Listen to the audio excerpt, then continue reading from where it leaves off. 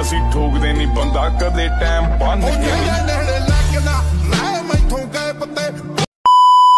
hello guys welcome to new blog तो आज मैं लेके आया हूँ न्यू जीएसडी पप्पी और भाई ये डबल कोट का है तो भाई आपको क्वालिटी कैसी लगी ये बता देना कमेंट में और इसका नाम भी बता देना क्या रखना चाहिए